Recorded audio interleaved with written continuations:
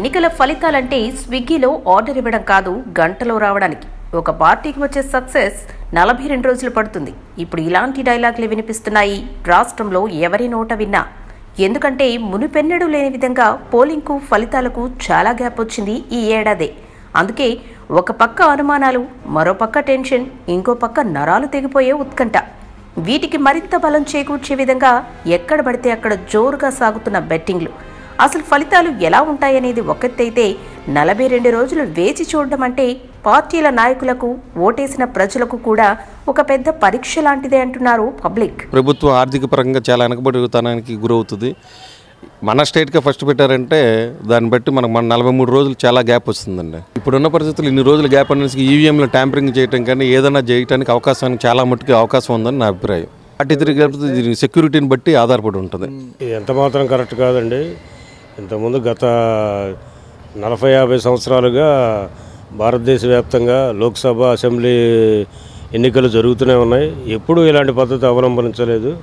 ఈసారి ఏంటంటే ఆంధ్రప్రదేశ్ని ఎలాగోలా ఇబ్బంది పెట్టాలని త్వరగా టైం లేకుండా స్టార్టింగే ఆంధ్రప్రదేశ్ని ఎన్నికలు పెట్టేసి వీళ్ళకి టైమే లేకుండా అభ్యర్థులు కూడా వీళ్ళు నియమించుకోకుండా ఎవరెవరు ఎక్కడ కూడా ప్లేసులు నిర్ణయించుకోకుండా వెంటనే ఇదంతా కేంద్ర ప్రభుత్వం చేస్తున్న చర్య.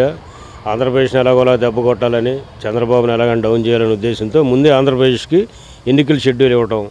ఏడు విడతలుగా జరిగే లాస్ట్ నలభై మూడు రోజులు ఈవీఎంల నుంచి ప్రతి కార్యకర్త కూడా జాగ్రత్తగా ఈవీఎంలను భద్రపరిచి కంటికి రెప్పలాగా కాపాడుకోవాలని మా విన విన విన్నపం అండి. అది కొద్దిగా అనుమానించాల్సిన విషయమే. అంటే కొన్ని కొన్ని ఫలితాలు అనూహ్యంగా ఉన్నాయి.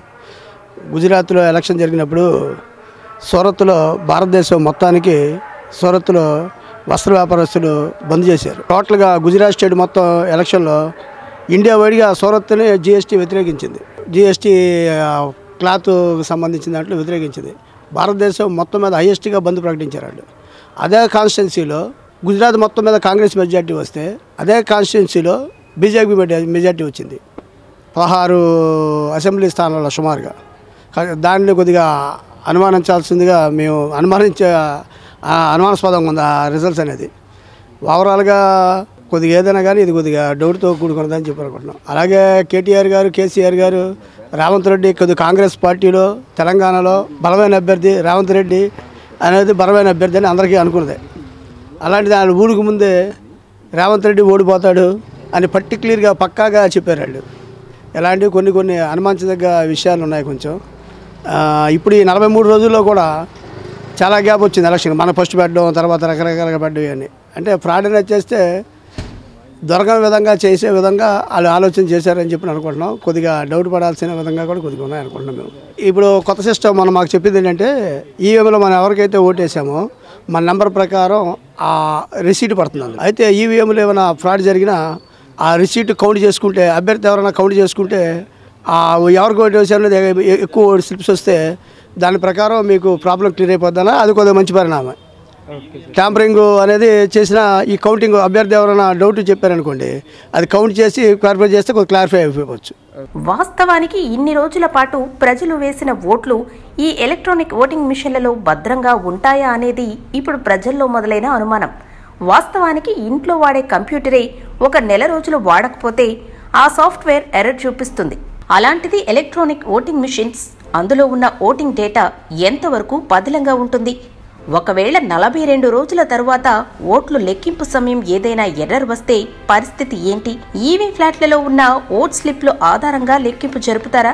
ఇలాంటి ఎన్నో అనుమానాలు ఇప్పుడు సాధారణ ప్రజల్లో మొదలైపోయాయి. బెల్ కంపెనీ ప్రతినిధులు ఈవీఎంల భద్రత విషయంలో తమది గ్యారంటీ అని చెబుతున్నా ఇన్ని రోజుల గ్యాప్ ఉండడంపై ప్రజల్లో ఉత్కంఠ మరింత పెరుగుతోంది.